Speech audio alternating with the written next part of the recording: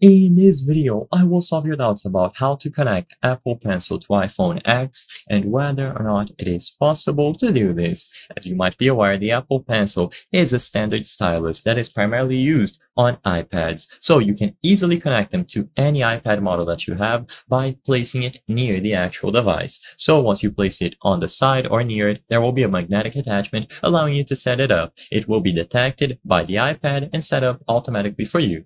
Alternatively, depending on the generation, you might have to remove the cap on the Apple Pencil and plug it into the Lightning port or USB-C port on the iPad. Now, can you do these same steps on an iPhone, either an iPhone X or any other model?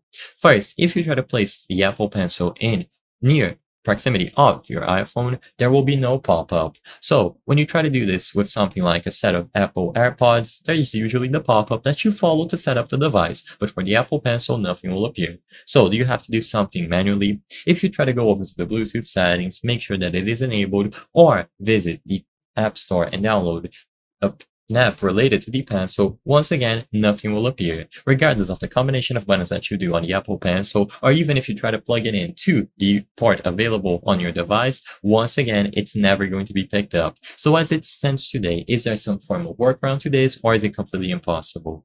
Sadly, the answer to the question in the title of this video is that setting up and using an Apple Pencil on an iPhone X is impossible. This is actually true for every single Apple Pencil generation and every single iPhone model. These devices are not compatible by choice. Apple made it so you can only use the Apple Pencil as a stylus on your iPad.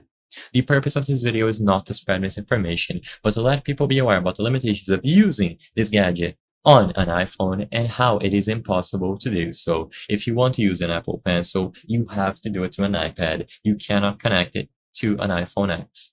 If this video cleared up any questions that you had on how to connect Apple Pencil to iPhone X, please be sure to leave a like and subscribe for more very easy tips. Thank you for watching.